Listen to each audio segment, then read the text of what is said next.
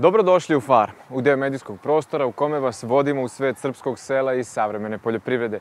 Naše ekipe su prethodnih nedelja krstarile Srbijom i u ovom 1071. izdanju vam donose odgovore na sledeća pitanja. Da li je proizvodnja jabuka u Arilju danas profitabilan posao? Zbog čega povrtari sa juga razmišljaju čak i da ostave povrće neobrano? Zašto je jedna komuna sa Borkovačkog jezera pored Drume idealna za begu prirodu?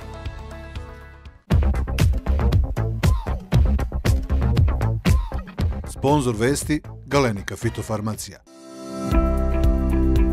Nekoliko udruženja poljoprivrednika u Srbiji zatražilo je da država otkupi 200.000 tona pšenice za robne rezerve po 50 dinara po kilogramu. Poljoprivrednici su naveli da država Srbija koja se opredelila za evropske integracije treba da dozvoli slobodno tržište i izvoz žitarica, posebno zbog toga što su magacini puni i pšenice i kukuruza pred žetvu. U cilju konkurentnosti naših poljoprivrednika sa evropskim farmerima, država mora da vrati osnovne postice subvencije po hektaru, kao u Evropskoj uniji, u iznosu od 200 evra, jer se sa sadašnjim posticajima ne može izdržati, navedeno je u saopštenju poljoprivrednika. Inače, prema procenama Udruženja Žita Srbije, žetva pšenice počinje krajem juna, a očekuje nas rod oko 3,2 miliona tona. Posle početnog šoka za malinare zbog otkupne cene ovog voća od 400 dinara po kilogramu, što je daleko manje nego što su očekivali, situacija na terenu se popravlja. Ovih dana hladnjačari nude oko 600 dinara, čemu je doprinela pojava novih kupaca. Nova tržišta poput Skandinavije i arapskih zemalja sve više su zainteresovana za kupovinu malina iz Srbije. Arapi čak nude i naftu u zamenu za ovo crveno srpsko blago. Dobre vesti stižu i za proizvođače kupina, jer informacije sa svetskog tržišta kažu da će se ovo voće plaćati od 300 do 500 dinara. Stočarima u Vojvodini su uručeni ugovori o dodeli ukupno 98,2 miliona dinara bespovratnih sredstava za opremanje farmi širom pokrajine. Ugovore su dobila 104 korisnika koji će za odobrene investicije uložiti nešto više od 70 miliona dinara sobstvenog novca, navodi se u saopštenju pokrajinske vlade.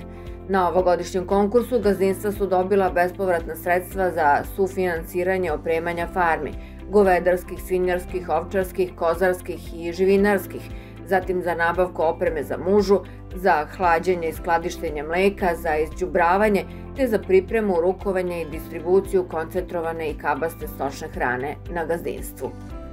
U Srbiji se ove godine očekuje rekordna proizvodnja meda. Zahvaljujući povoljnim uslovima za cvetanje bagrema, ocenili su članovi grupacije za pčelarstvo i proizvodnju meda Privredne komore Srbije i istakli potrebu snažnijeg plasmana na inostrana tržišta gde je sve veća tražnja za ovim pčelenjim proizvodom. Ova grupacija upozorava da izvoz meda ove godine opada, a da uvoz raste. U prva tri meseca 2022. godine uvezeno je 200-222 tone, što je 28% više nego u istom periodu prethodne godine. Najviše meda se uvozilo iz Moldavije, Ruske federacije i sa Novog Zelanda.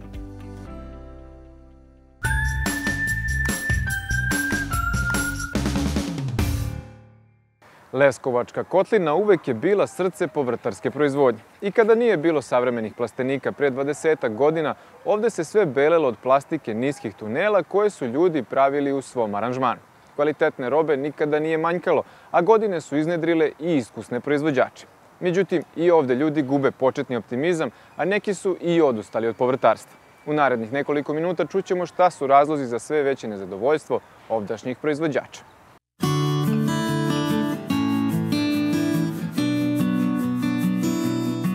Najbolji paradajz, krastavac i paprika po pravilu su stizali na beogradske pijace iz okolina Leskovca.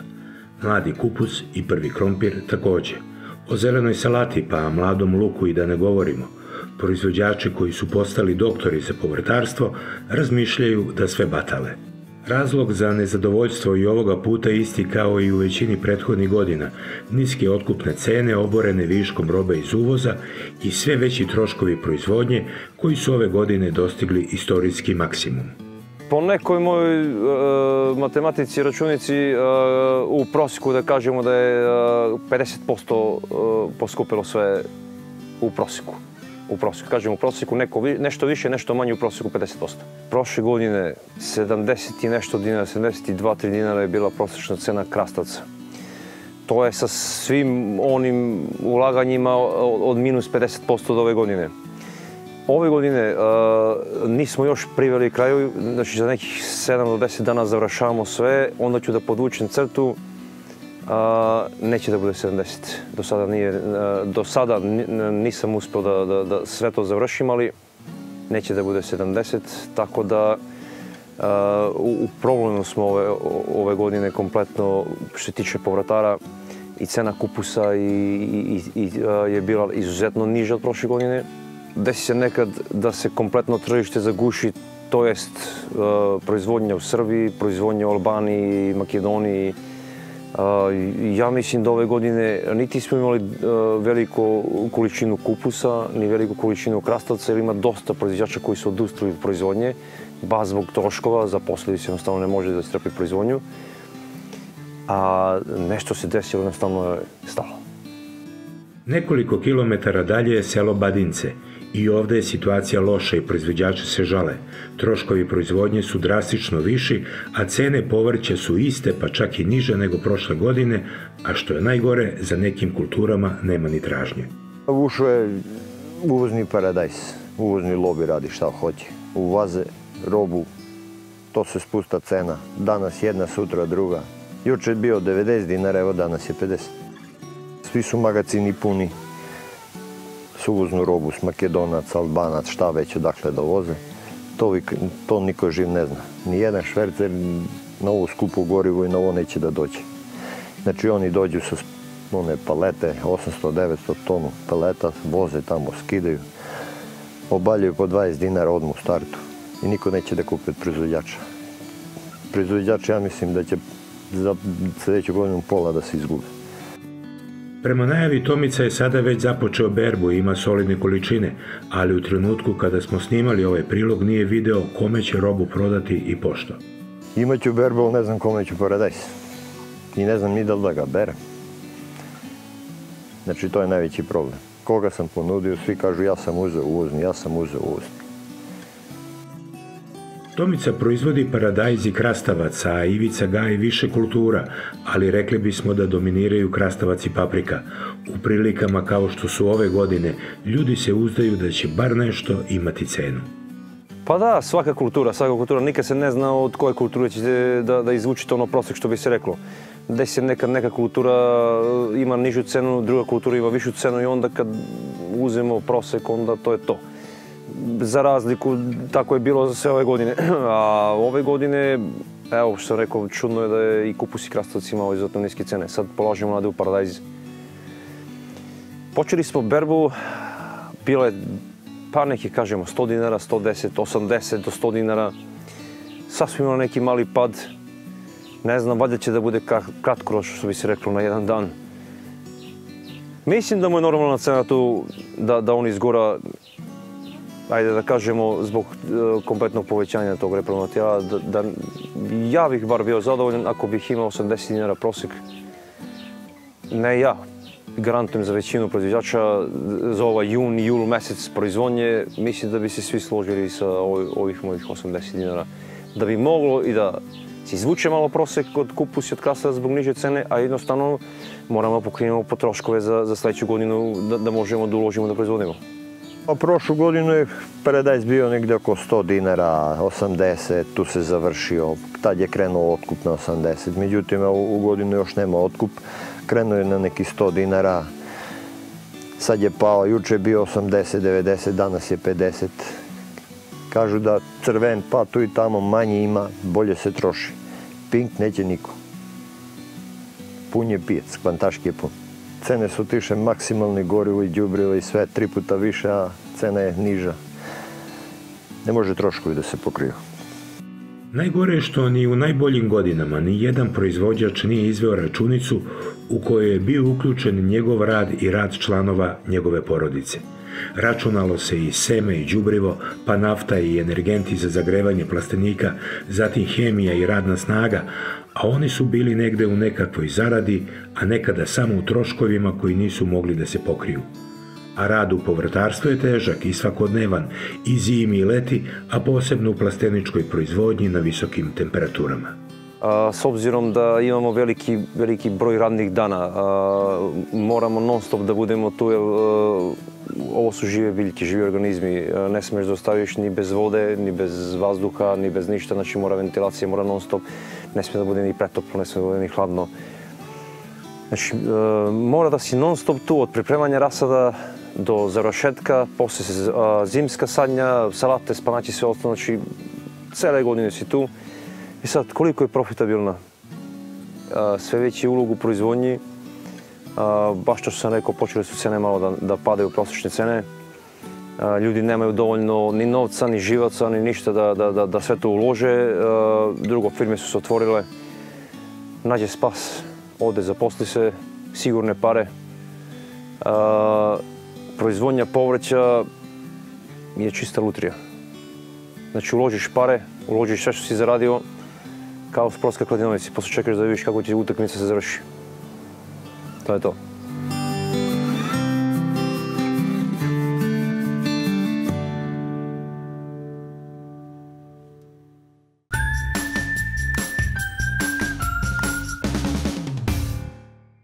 U carstvu maline u okolini Arilja dva brata su odlučila da primat ipak daju jabuci. Od jednog manjeg zasada, ne većeg od 15 ari, vremenom su stigli do 3,5 hektara savremenog zasada, od čega je skoro polovina pod protigradnom mrežom. Promenili su i sortiment, gledajući u svakom trenutku sadnje novih površina da imaju ono što tržište traži.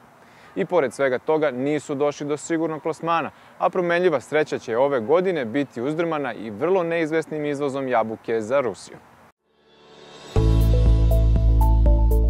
Od starta su braća Pavlović radili složno i sve u dogovoru. Znali su da treba da proizvode samo ono što će imati prođu i na domaćem, ali i na u poslednjih 20 godina vrlo atraktivnom ruskom tržištu.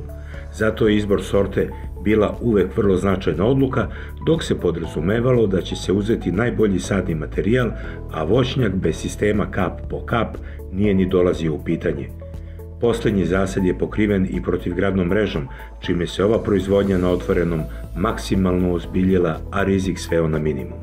Овде каде каде сме присутни е хектари 30 парцела под мрежом, наводњавање кап по кап, сорта е Грени Смит, на, на, значи на, на девет подлози, да кажемо, најсавременија, мислим, савременија производња. Остаток хектари имамо uh, Jonagold Princa uh, koji treba da se pokrije i imamo Ajdared 106 ostataka. Pre deseta godina kad, kad smo bili u ekspanziji sa podizanjem zasada i čak i ovaj zasad kad je, kad je podignut, takozvane crvene sorte, takozvane, su išle za Rusiju znači, u neograničenim količinama. I tada je, znači, gren je bio neprikosnoven. Znači, tada je cena grenija bila 50-60 euro centi.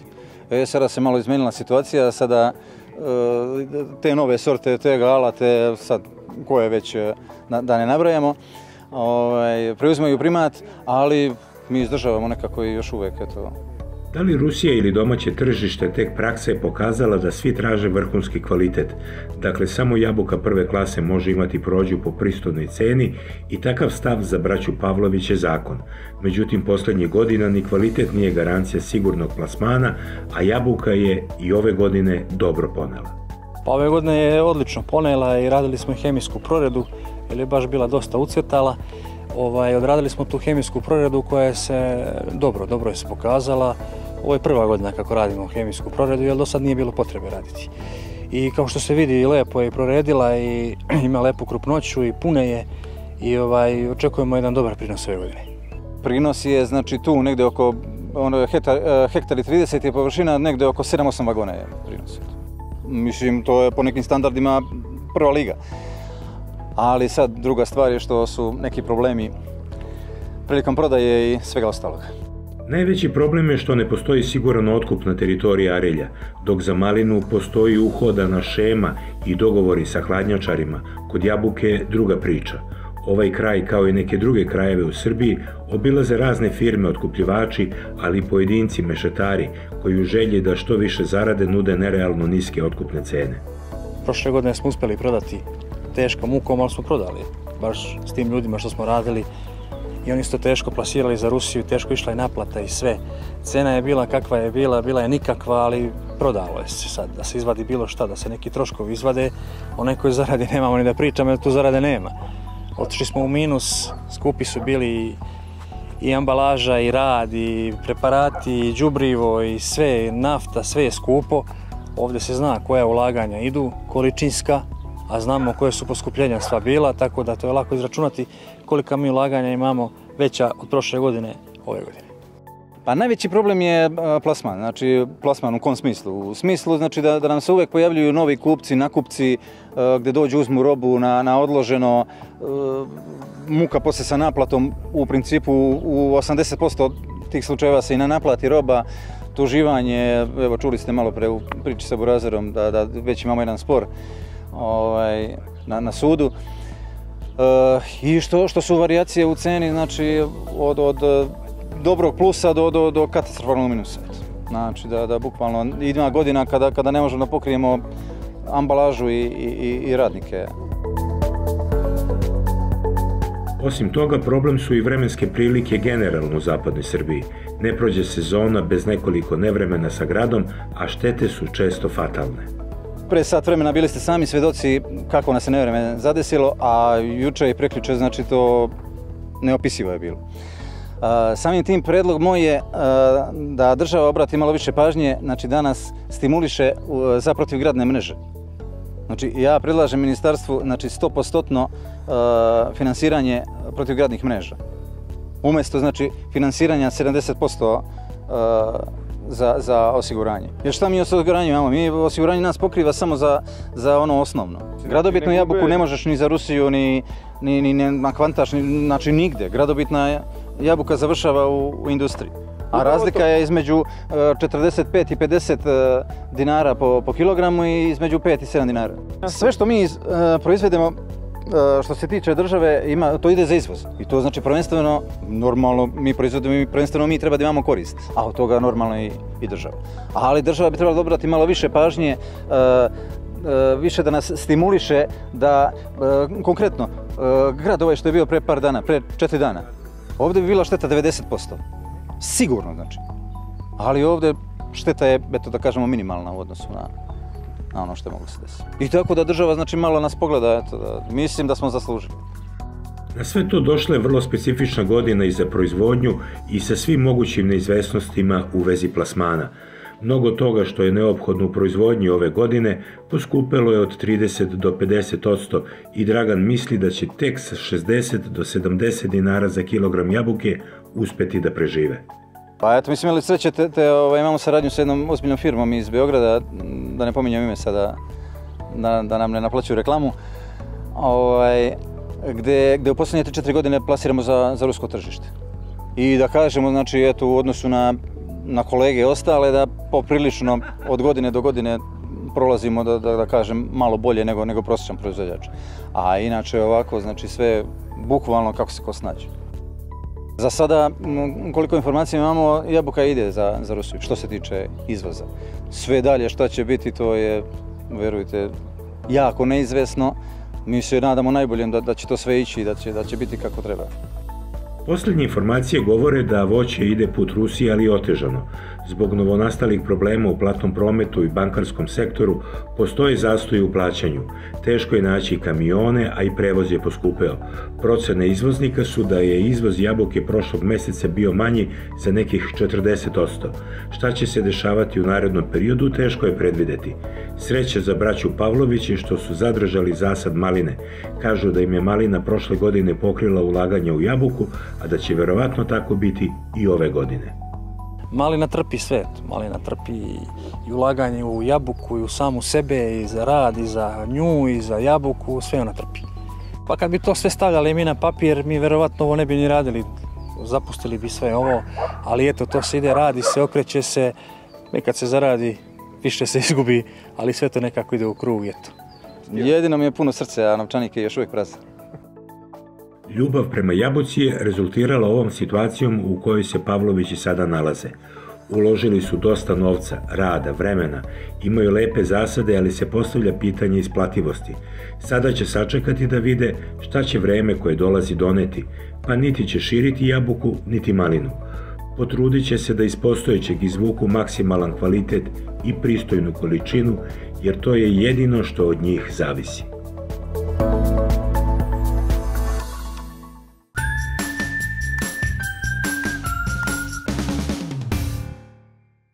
Je obično mesec kada se podlače prvi rezultati za tekuću poljoprivrednu sezonu. Ozime kulture se spremaju za žetvu. Poznate su prve procene prinosa, ratari ili namiču osmehe ili se dopunjuju nervozom. Dok su voćari pregrmeli najstresnije trenutke u proizvodnji tokom proleća, kada su napadi insekata i bolesti i najintenzivniji. Trešnja je već obrana, jagoda takođe, a proizvođačima jabučastog voća ostalo je još par lakših meseci do berbe. Upravo je jun mesec i pravo vreme za održavanje dana polja kompanija koje se bave zaštitom bilja. A naša ekipa je protekle nedelje bila u Tavankutu i Titelu, gde je Galenika fitofarmacije pokazala na njivi dosadašnje učinke svojih preparata u voćarskoj i ratarskoj proizvodnji. Fabrika pod otvorenim nebom. Rečenica koja najpreciznije dočarava poljoprivrednu proizvodnju. Koliko god sredstava i truda uložili u svoj biznis, poljoprivrednici na kraju uvek zavise od neba. Pogotovo to može da se kaže za ratare, koji gotovo iz godine u godinu imaju velike razlike u proizvodnji, pa je stoga i teško izvaditi zaključke i pravilno se spremiti za narednu sezonu.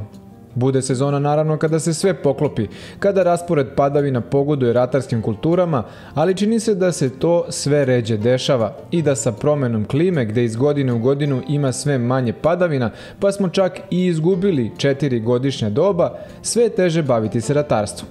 Nedavna poskupljenja repromaterijala zbog geopolitičkih dešavanja u svetu unela je dodatni nemir paorima koji čini se i nemaju previše optimizma pred žetvu ozimih kultura.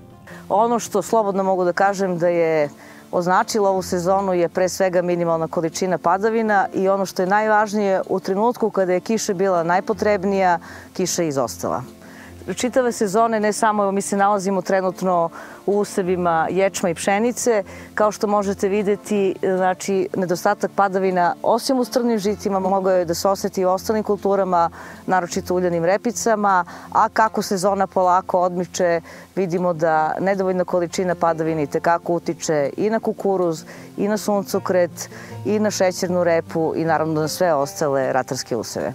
Pa evo konkretno, pošto se nalazimo u usevima ječma i usevima pšenice koje ovde su rađene inače ogledi, Um, ono što bih ja napomenula, znači početkom godine imali smo optimalnu količinu padavina da bi se znači, došlo do maja meseca kada bukvalno do treće dekade maja ukupno je na pojedinim terenima palo 2,5 mm po metru kvadratnom.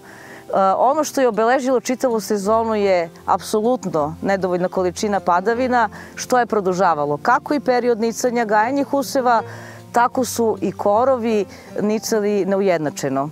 Ono što je jako karakteristično, znači i korovske biljke su imale dosta produženiju vegetaciju u odnosu na prethodne sezone.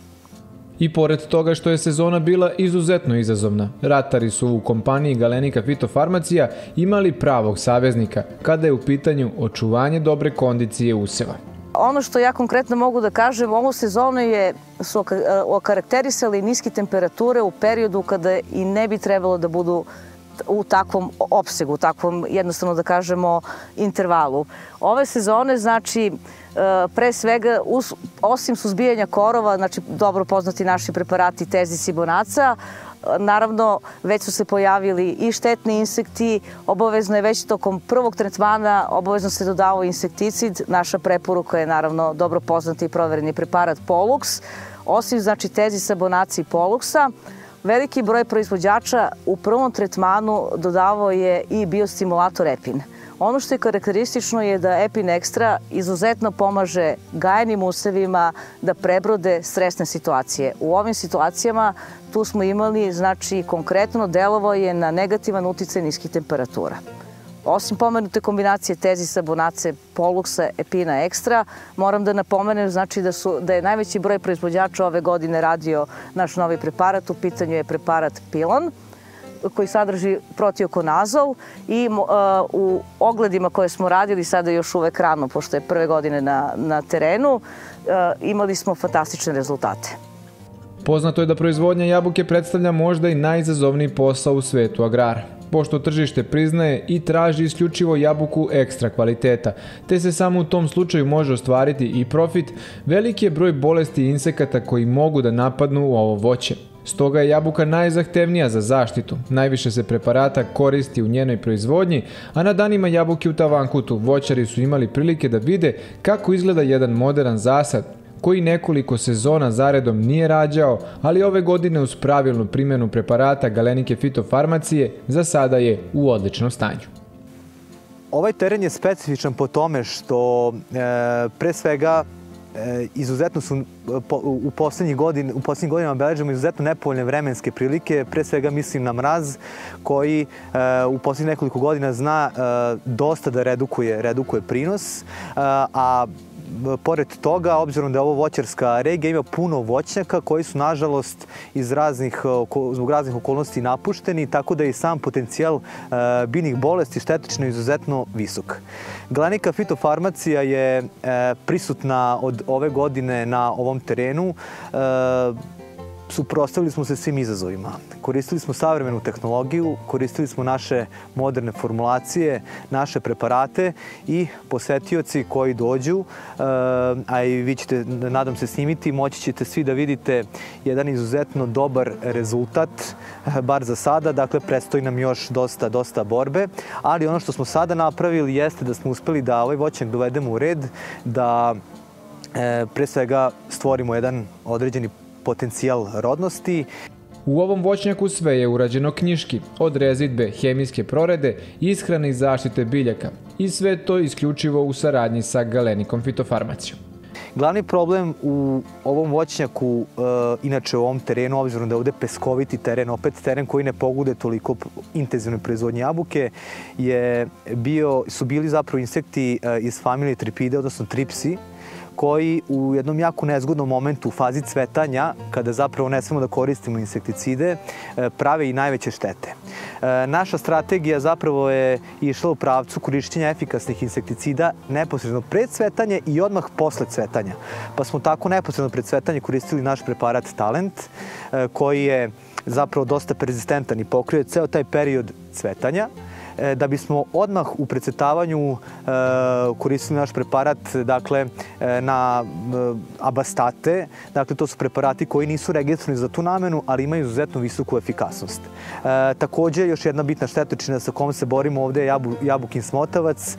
Postavili smo feromonske klopke, pratimo, imamo ozbiljan monitoring i u klopkama lovimo izuzetno visok broj adulta konstantno, to traje već nekoliko nedelja.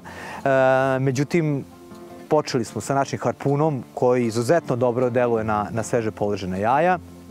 Zatim e, koristili smo neke aktivne materije koje nemamo još u našem portfoliju, ali se spremamo da ih, da ih, da ih u nekoj perspektivi možda i registrujemo.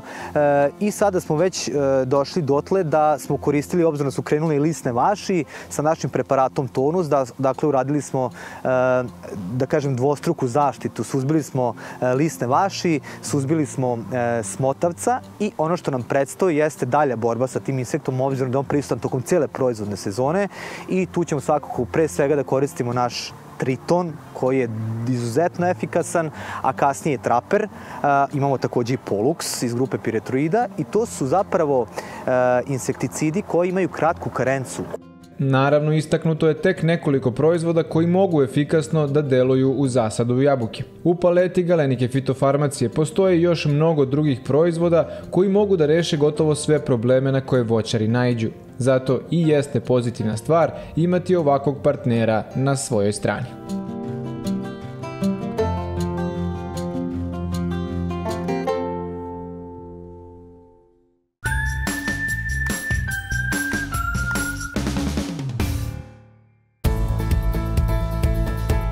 Nikad brže, kvalitetnije i povoljnije. SIP paneli za gradnju montažnih kuća po meri svakoga.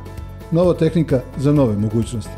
Genko Home. Proizvodnja termoizolacijonih blokova u svim dimenzijama. Brza montaža, laka dogradnja i promena strukture prostora. Vrhunska izolacija vraća investiciju kroz značajne uštede pri grejanju i hlađenju. Ekološki materijali visoke otpornosti na vatru.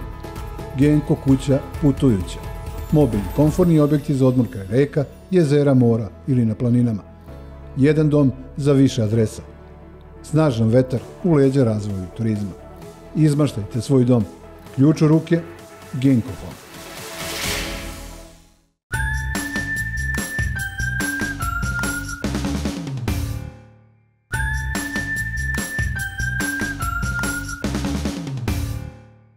U rubrici Vremeplov idemo u 2018. godinu i u Kladovo. Naime, razlog zašto se podsjećamo priče jednog ovčara iz Rtkova je činjenica da je ovaj mladić, iako sa velikom muzičkom perspektivom u Beču, rešio da se vrati na svoju dedovinu i da umesto muzičkog virtuoza postane veliki domaćin.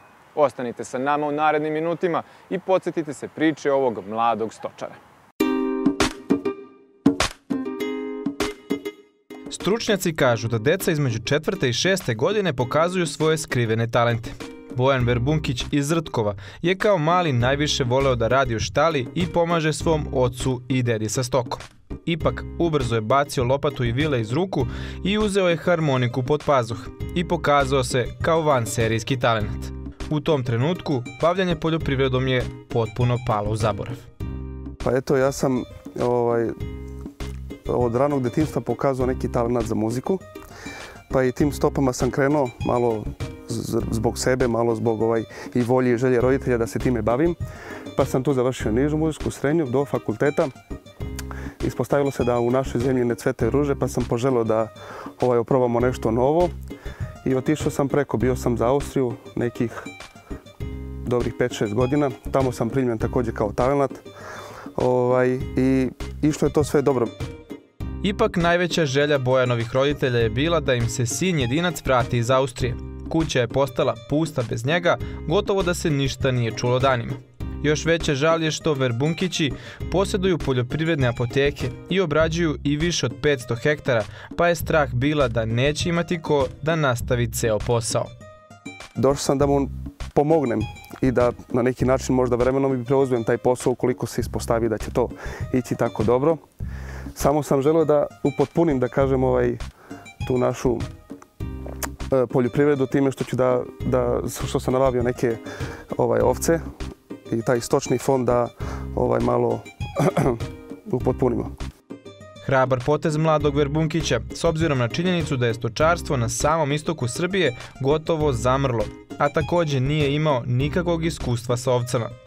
Nekad je bilo i krava i ovaca skoro u svakom domaćinstvu, a danas je za jagnjeće pečenje ide u komšijsku Rumuniju. Bojan je rešio da se suprostavi tom trendu, zamiranje ovčarstva i pre dva meseca 19 grla je stiglo u Rtkovo. Wirtenberg rasa je u pitanju, to su kvalitetna priplona grla. Imamo 18 ovaca i jednog e, ovna. I ovaj, vidit ćemo kako se ovaj, dalje odvija situacija. E, računamo na neka posticajna sredstva od države i da kažemo tu ćemo posle planirati dalje ukoliko se sve to realizuje onako kako bi trebalo. Ja imam ovaj, jednog prijatelja koji je nabavio isto izuzetno dobra grla i sa njim, preko njega sam zapravo stupio u kontakt sa jednom, uh, jednom gospođom iz Indije, to je valjda u pitanju zemljoradnička zadruga. Izuzetno ovaj, fina gospođa, uh, mnogo prijatna, ona me uputila, najpre posavetovala, oni su prodali neka grla, međutim i oni su ovaj, išli ka tome da prošire njihovu farmu ali je uzela kao obavezu na sebe da mi nabavi negde isto takva grla koja su se meni dopala i ovaj ispunila je to obećanje i ja sam njoj zahvalan. Tako da uspeli smo da, da nabavimo to što smo u stvari naumili. Dva meseca su ovce tu, ali već se Bojan navikao na ceo posao. Čak mu je postao i relaksacija od svakodnevnih obaveza na njivi. Pa dobro, nema tu mnogo posla u svakodnevnici. Malo više posla ima dok se e, skupi hrana za, za zimu. Tu se malo, da kažemo, više radi, ali to traje svega nekoliko dana. Još uvek treba da nabavim malo bolju opremu gde bi skratio to vreme, ali generalno ide. Nemam, zato nisam ni uzeo neki veliki broj grla koji ne bi mogu da obslužujem, već ovaj minimalan broj koji je eto kao proba, generalna proba za možda neki dalji korak. Pa i one polako pored mene ovaj, navikavaju lepo i na teren. negovane su, mi smo stalno tu pored njih, provodimo vremena koliko, koliko možemo i opuštaju se. Mislim da se već polako osjećaju na, na svom terenu i bit će to, verujem, dobro. Ovaj stočar je rešio da omogući svojim ovcama idealne uslove za život, pa je smislio specifičan model ispaše. Da, pa eto, to je ovaj pašnjak koji je podeljen da bi dok one pašu jedan deo, drugi mogu da se zaliva i regeneriše. Tako da e, momentalno im je to zadovoljavajuće za ovaj broj grla. Mislim da ćemo, ovaj, dobro se pokazalo za sada. O tom potom ako budemo ovaj, širili stado, morat ćemo da razmislimo dalje. Za sada je ovo dovoljno. Bojan se polako sprema za zimu. Hrana je već spremljena, pa sa nestrpljenjem čeka januar i jagnjanje svojih ovaca. Ženska grla će ostavljati, a muška će prodavati jer je prevashodni cilj da se stado proširi, a o plasmanu će razmišljati kad dođe vreme. Pa recimo za sada bih ja to postepeno povećavao s tim da uh, on vidit ćemo najpre ovaj, da li će da se ispoštuje sve to što treba da, ovaj, da se ispoštuje.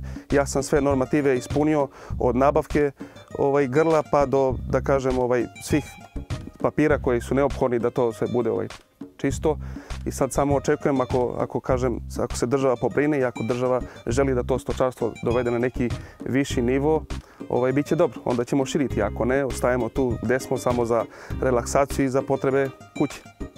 Da li je načinio pravi potez sa povratkom u Srbiju ili ne, još uvek je pitanje.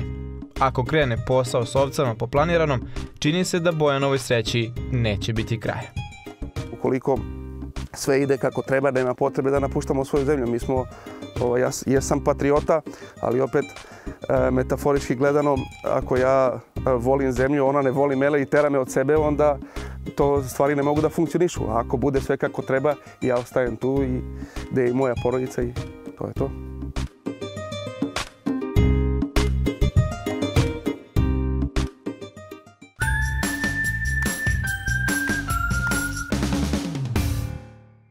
Reč komuna je u različitim političkim i vrednostnim sistemima dobijala i drugačija značenja. U socijalizmu je to bila ekonomska zajednica koja složno radi na postizanju dogovorenih ciljeva. U hipi pokretu društvo posvećeno prirodi i hedonizmu, a na obali Borkovačkog jezera, na obroncima Fruške gore, jedna družina je sve to. Vodimo vas u vinariju komuna, gde se radi i uživa i sve snage.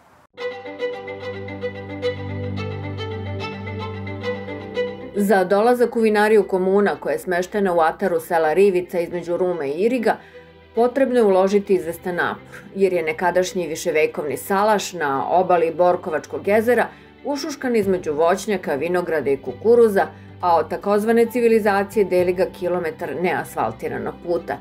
Neki bi rekli to je velika mana, ali domaćini i stalni gosti kažu da je to zapravo blagoslov, jer u ovaj rajski kutak stižu samo istinski ljubitelji prirode. A vlasnici su baš to i hteli, da svoju životnu filozofiju mira, suživota i očuvanja životne sredine podele sa onima koji isto misle. Zapravo je zbog toga vinarija komuna i dobila ovo neobično ime. Pa zapravo komuna kao vinarija nastala u sklopu nekoliko porodica, da bi na kraju sad ostala samo ta krvno povezana porodica, ali da, to je bio prvobitan plan naziva, zato što smo kao jedna zajednica koja je radila i ulagala su svoju trud i snagu da bi nešto napravili.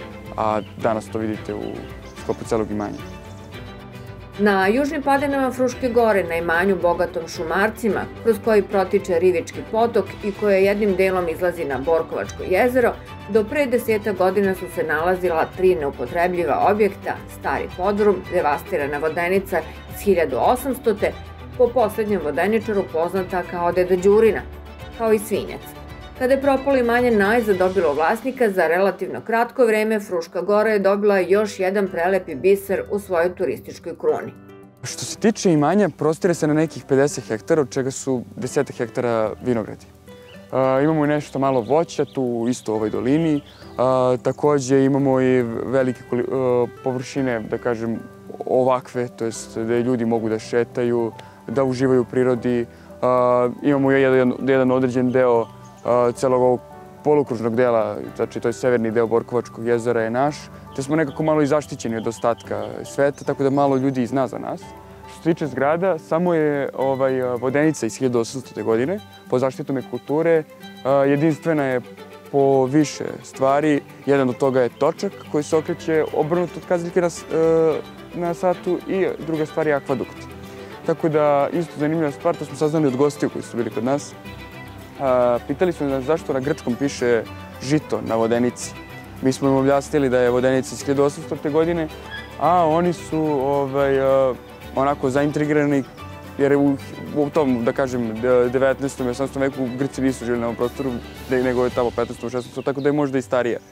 Što se tiče, takođe imamo i taj vinski podrum, koji takođe je star koliko i vodenica, otprilike nekih 200, 200 godina, samo što smo dobili dozvolu da ga proširimo.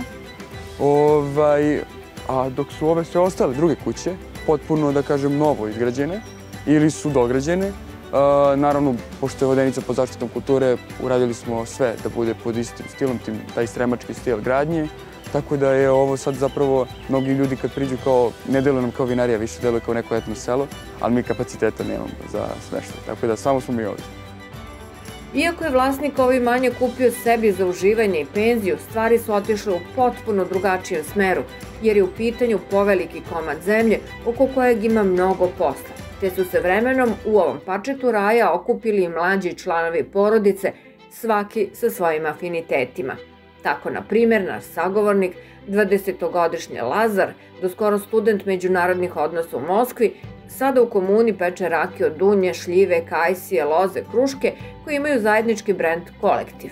Njegov brat Marko zadužen je za jelovnik, koji će na najbolji mogući način spojiti vino i hranu.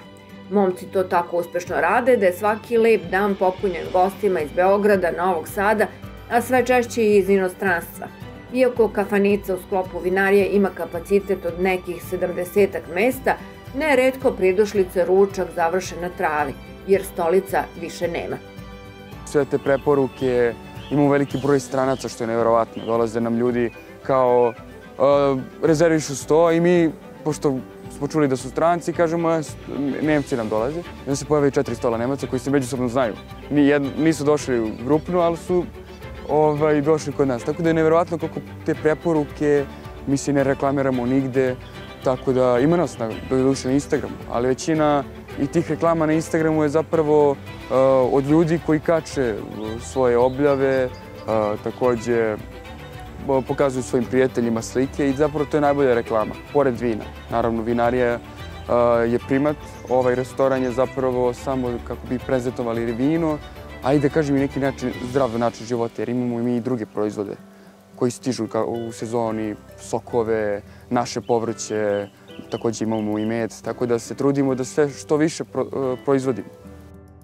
Koliko je ovo lepo mesto i koliko su ljudi prijatni, možda najbolje govori činjenica da smo u vinari zatekli i dva stranca. Jedan dolazi iz Južnoafričke republike, a drugi sa egzotičnog ostrva i nemaju nameru da se vrate kući. To je jako interesantno. Marko, koji je zapravo i otvorio kao kafanicu ovdje kod nas, on je studirao u Švajcarskoj. Tamo je upoznao i Endija i Bazila. I šta se dogodi? Eto, korona je, da kažem, sve odaljila ljude u, u Srbiji ili tako imamo mi utisak.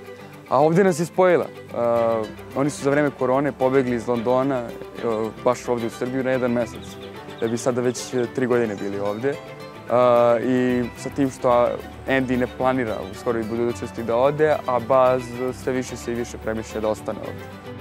Pored vina koje je naravno glavni proizvod komune i o kome ćemo nešto kasnije detaljnije govoriti, mlada ekipa iz Rivica proizvodi još mnoštvo drugih proizvoda, poput maloča spomenutih rakija, meda ili sajder, blago alkoholno piće nastalo fermentacijom jabuka, u koje ovde dodaju i sok od zove, cveta koga na Fruškoj gori ima u izobilju. Hteli su članovi komune da proizvode sami još to šta, ali je manje veliko, a vremena malo, te se ne može sve postići. Stoga su se okrenuli lokalnim proizvođačima delikatesa. Mi smo imali uh, pokušaj da imamo i naš kozi sir. Uh, imali smo pokušaj da imamo i naše ovaj, meso od mangulice. Ali jednostavno nas je premalo i onda smo odlučili da podržimo domaći. Radimo sa malim proizvođačima sa Stare planine i Homoljskih planina, što se tiče sireva. i radimo sa proizvođačima mesa iz Sremske Mitrovice putem Kosranske Mitrovice. Ovaj, to su, kažem, i naši prijatelji, ovaj, pre svega tako da njima hvala na, na, na da kažem, tome što su nam dali, jer stvarno su upotpunili taj naš meni što se tiče tr, uh, tih, uh, da kažem, degustacija i meza. Što se tiče kolača, tu stupa na snagu naš ovaj, prijatelj sa Bermuda, Andy.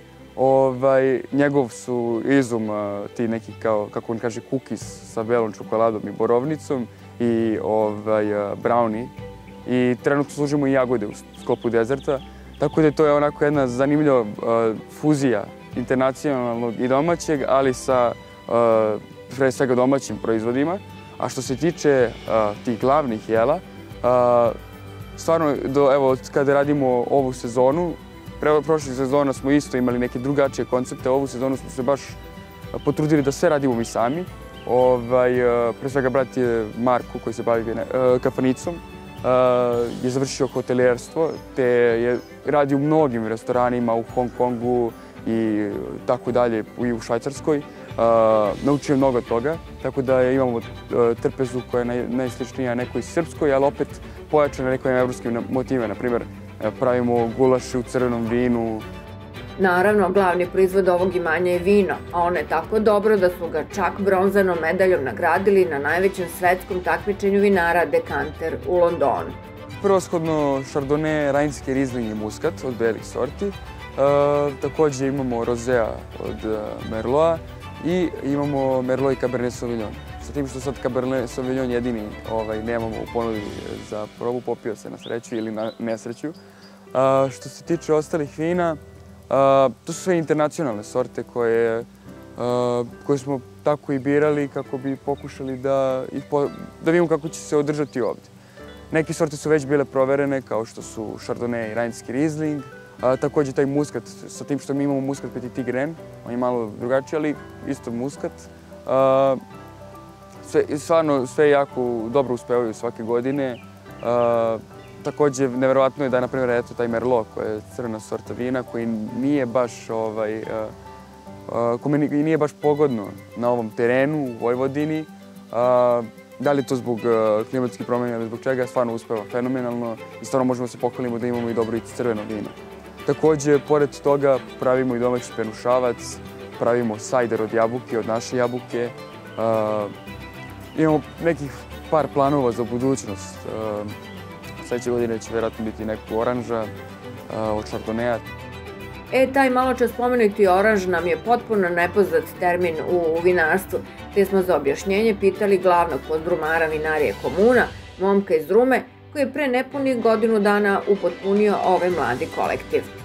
Oranž vina je slabo zastupljena na današnjem tržištu.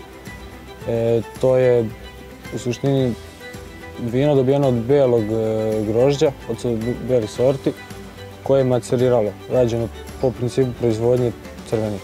Tako kad pokožica macerira zajedno sa širom, odnosno kada fermentišu šira i pokožica, odnosno kljuk, i tako nastane onda ta neka naranđasta oranž boja u tom vinu i zato se onda zove oranž. To se slabo radilo, u zadnje vreme to dobilo ekspanziju, nije nešto bilo zastupljeno, tek se predstavlja publici. Radi se sa malo sumpara, može da se kaže da je jedan tip e, organske, odnosno biodinamičke proizvodnje vina, po tome je specifičan, razlikuje se dosta od ostalih, bude onako malo mutnije, ali sve to u, u skladu sa svim propisima. Kako nam rekoše, Oranž će biti tek uvertira i vežba za strategiju daljeg razvoja komune, jer ovde planiraju da se polako okrenu ka organskoj proizvodnji vina – Sadašnji proizvodi mogu da se pronađu u raznim vinotekama i restoranima po većim gradovima, a sve ćete ih prepoznati po neobičnoj etiketi. Na svakoj od njih je po jedna ptica koja je stanovnik ovog dela Fruške gore. Svih, eh, da kažem, sedam etiketa vina ima svoju ptičicu. Interesantno je to da se na belim vinima nalaze ptice pevačice, na rozeu je drozd, on je takođe pevačica, ali jako ovaj, onako štetočina za vinogradare i voćare. I na crvenim vinima su grabljivice. A, interesantno je takođe što su te e, sve ptice sa ovog podnevlja i vi možete da ih sve vidite u toku vašeg ručavanja ovde. Preko dana možete vidjeti sivog soka, a uveče, pored jabukara eldahre, možete vidjeti sovu ušaru. Tako da ovaj, i svrčka i crvenu repku stvarno ovde je izobilj e, ptica i to je taj još jedan, da kažem, spoj koji smo mogli da uhvatimo ovde uh, sa našim vinima, pošto su opet sorte su internacionalne, ptice su domaće i stvarno stvorili smo potpuno neku komunu. Pored ovakvog jelovnika i karte pića, ni najzahtevniji gosti ne bi poželeli ništa više, osim možda još neke aktivnosti koje bi pomogle da se potroše već unete kalorije. Domaćini i za to imaju rešenje. Dosta su fizički aktivni što se tiče šetnje, Mi čak uvek predlažemo ovaj, da idu do Borkovca. Lep, Borkovac je stvarno lepo jezero, ovaj, ima puno i ptica i prirode se vidi, a pritom je može i se kupovnja. Uvek ponudimo da ponesu čaše sa sobom kako bi mogli da uživaju uz čašu vina uz e, jezero. Tako da ovaj, dosta su i gosti fizički aktivni. Takođe, ono što je interesantno, mnogo vole da odmaraju na travi uvek imamo mnogo ćebića, podelimo ćebiće, ljudi uživaju. Na neki način uživamo mi, jer smo podelili to što, što mi svakog dana možemo da imamo, ovaj, samo da ne radimo. A, ali, hoću da kažem, da, to je i taj ti golići, često se desi da gosti na kraju uzmu da igraju futbal. Preko dana je mnogo vruće, preko leta. Ali uveče, stvarno ovde milina, zalazak sunce je ovde stvarno prelep, pogotovo gore kad se malo popne do vinarije. Tako da gosti ovde imaju dosta i uh, da kažem, nekih uh, sporednih uh, stvari koji ih privlače, te ovaj, nikad im ovdje nije dosadno, pritom imamo 12 pasa, tako da ovaj, uh, ne može da bude dosadno ovdje gostima. Ako vam pak nije do šetnje ili futbala na male goliće, mi predlažemo sedenje uz jezerce na imanju koje je nastanilo jato gusaka. Samo posmatranje mirne vode i ovih elegantnih ptica dovoljno je da snizi krvni pritisak na normalu, a može i da se peca. Mi kad smo došli 2012. tu se nalazila jedna barica. Prošlosti to isto bilo neki, neki ribnjak, ali jednostavno, od, jednostavno nikoga nije eksploatištao, nikoga nije održavao, to, on je nestao. Mi smo ga produbili na neku dubinu od 2-2,5 metra, poribili i mogu se pohvaliti da stvarno imamo lepe primjerke i šarana, somova i babuški. Evo, najskorije što smo ovaj, upecali bio taj šaran od 5 kila, tako da poribljeno je, ne eksploatišemo ga mnogo, više volimo ovaj, da uživamo u životu kad iskoči, na primjer, neki šaran ili som, ovaj, da uzmemo vazduh, više volimo da to gledamo nego da izlovljamo. Svojevremeno je čuveni francuski pesnik Jacques Prévert spevao poznate stihove. Ručajte na travi, jer će sutra trava ručati na vama a mi predlažemo da to bude trava vinarije komuna. Život je kratak i treba ga napuniti lepotom, ovo je proveren način da to i učinite.